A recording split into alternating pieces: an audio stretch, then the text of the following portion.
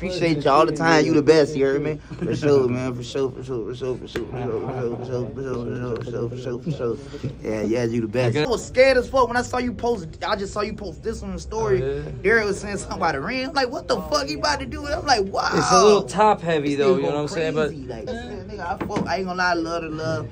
Yeah, you know what I'm saying? I'm with, like tremendously. You know what I'm saying? I Like, appreciate you, brother. It's a privilege, man. It's a Yeah. privilege.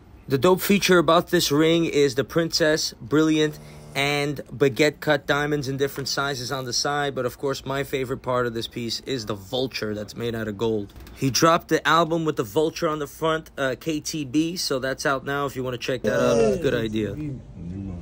God, what the fuck? Going what you be doing, Trey? This side, you, bitch, you love me. So that's one project completed. And if you want to see what else we got, just visit traxnyc.com.